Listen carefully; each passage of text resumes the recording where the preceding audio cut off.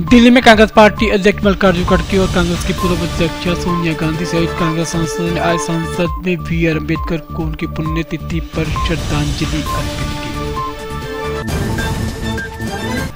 दिल्ली में राष्ट्रपति और प्रधानमंत्री नरेंद्र मोदी ने आज संसद में डॉक्टर बी आर अंबेडकर को उनकी पुण्यतिथि पर श्रद्धांजलि अर्पित की। इस दौरान उपराष्ट्रपति जगदीप धनखड़ भी उनके साथ मौजूद रहे। में पूर्व मुख्यमंत्री और बसपा प्रमुख मायावती ने लखनऊ में आज बी आर अंबेडकर को उनकी पुण्यतिथि पर श्रद्धांजलि अर्पित की। दिल्ली में आज गुणवत्ता एवं मौसम, पूर्वानुमान और अनुसंधान प्रणाली एल के मुताबिक आज दिल्ली की गुणवत्ता बहुत ही खराब है।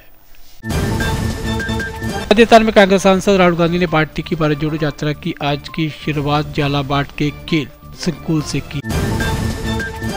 कांग्रेस ने कुमारी शैलजा को छत्तीसगढ़ का महासचिव शक्ति सिंह गोहिल को हरियाणा के अलावा दिल्ली का प्रभारी और सुखजिंदर सिंह रंधावा को राजस्थान का प्रभारी नियुक्त किया है।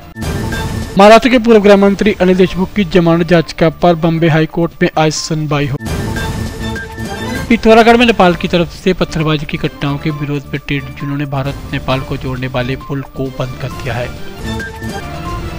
कोलंबिया में लैंडस्लाइड से कम से कम तैतीस लोगों की मौत की खबर है। लैंडस्लाइड के बाद कई लोगों के साथ ही वाहन भी दब गए प्रशासन की तरफ़ से राहत और बचाव कार्य जारी है।